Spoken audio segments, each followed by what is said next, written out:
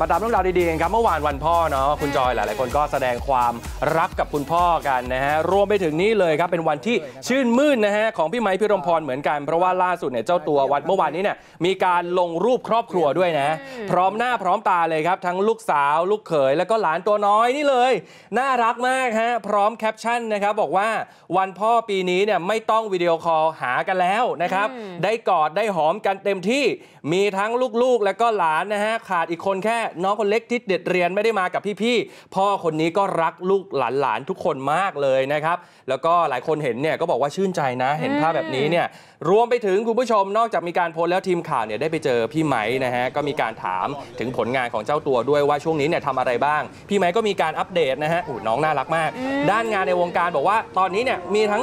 น่ารักอะน่าเอ็นดู เออ คือแบบแก้มจำมัมน่าหยิกน้องวินวินมากน่ารักมากอะแก้มแบบอยาก อยากหยิกอะอยากหยิกแก้มอันนี้เราทำลายน้องน่าไหมรัเนี่ยกน่าชังไง เอ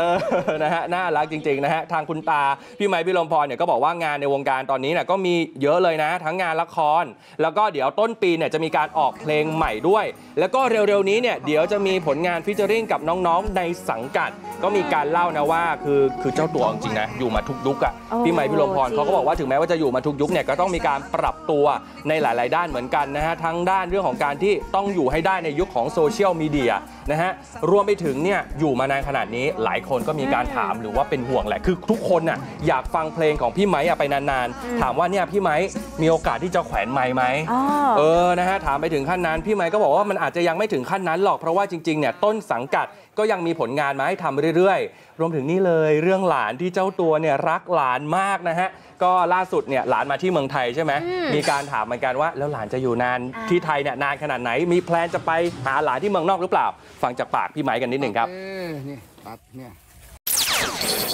อ่าตอนนี้ก็มีถ่ายละครนะส่วนงานเพลงก็มีซิงเกิลที่จะออกนะฮะต้นปีหน้า ก็มี featuring กับน้องๆในในในสังกัด ซึ่งก็ล่าสุดก็ทำเพลง featuring กับวงไททศมิตรกับจ๋ายกับโมดครับพูดตรงว่าเราเราอายุมากแล้ว เพลงมันก็ทิศทางมันก็เปลี่ยนไปเยอะเนาะต้องปรับตัวก็หา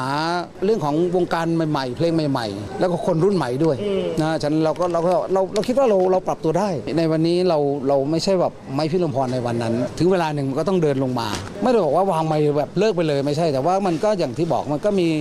บ้างที่จะ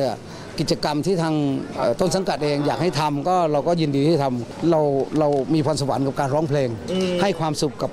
ญาติเพลงแฟนเพลง อย่างน้อยๆคือคนน้องคนนี้เอาเราเป็นต้นแบบเป็นไอดอลเนี่ยเราก็มีความว่าเออเราอย่างน้อยมันก็ไปสร้างแรงบันดาลใจให้เขาแต่การทำธุรกิจมันเป็นการทุทำทำธุรกิจที่แบบเขาเรียกว่าเป็นอาชีพที่ค่อนข้างจะเหนื่อยประสบความสำเร็จมั่งไม่สไม่ประสบความสำเร็จมั่ง มันก็คลาเคล้ากันไป พอสุดท้ายเลยนะถ้ามันเริ่มสำเร็จเราก็มีความภาคภูมิใจ